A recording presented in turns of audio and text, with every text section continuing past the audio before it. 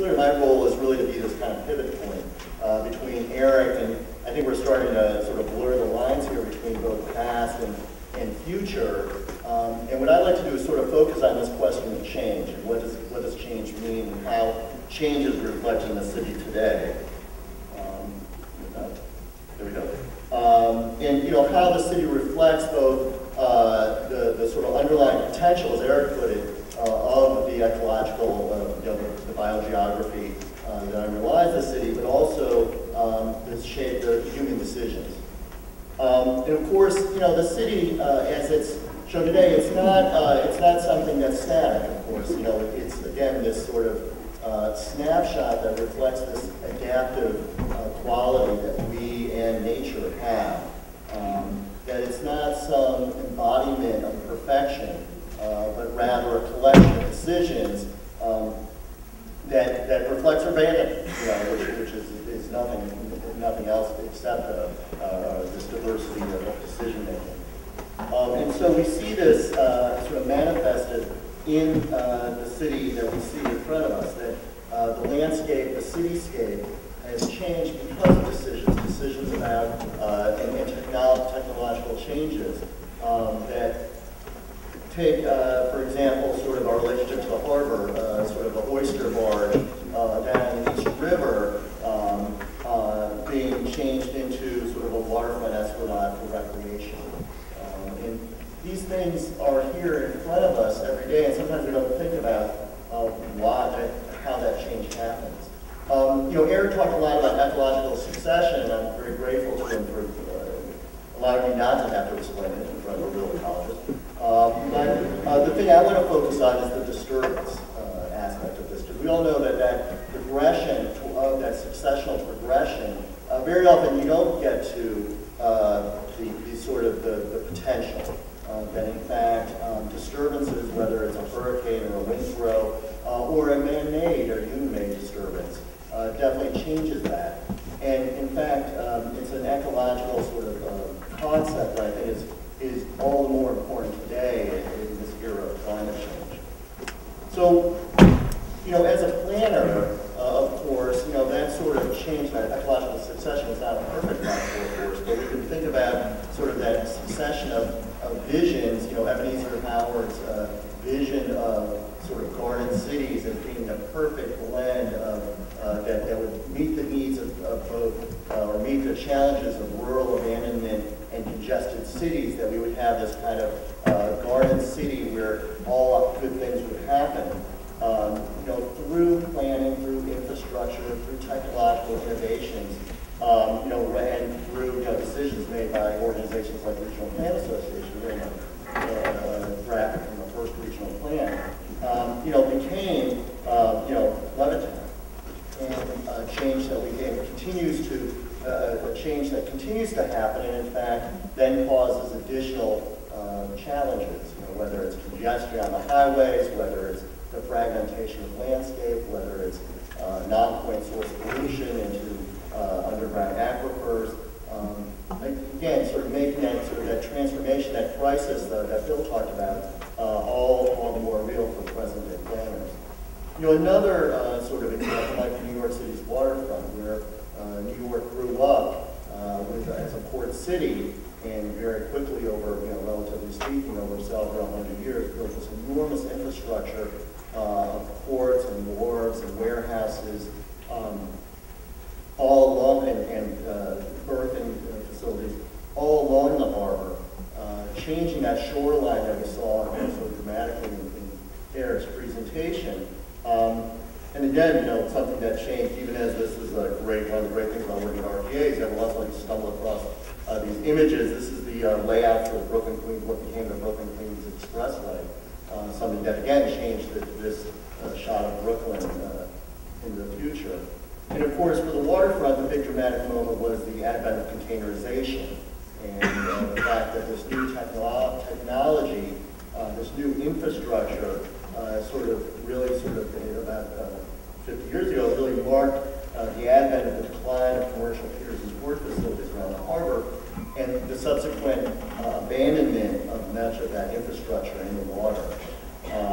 And that coupled with uh, water water quality improvements, uh, this image from the Hudson River Foundation uh, dramatically shows how water quality became clean, has become cleaner again thanks to investments in, in water treatment. Um,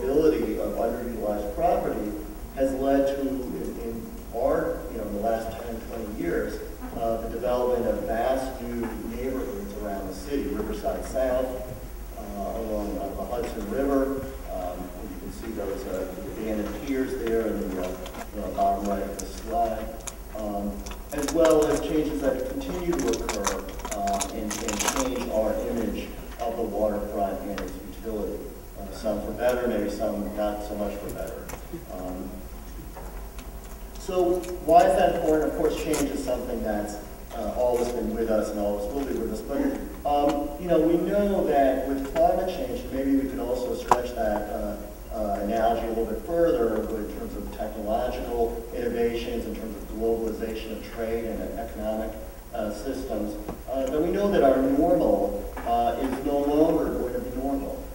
that in fact, the variability of systems, in particular the hydrologic system, uh, is going to shift dramatically uh, over the next, uh, we've already seen uh, these impacts, and we're going to see it even more over the coming century, both with more frequent droughts, uh, more frequent and intense storms, that we can no longer think of sort of that normal range of variability in terms of climate as being what's normal. We need to be thinking about, again, sort of thinking about disturbance an ever, ever more present factor uh, in our in our planet.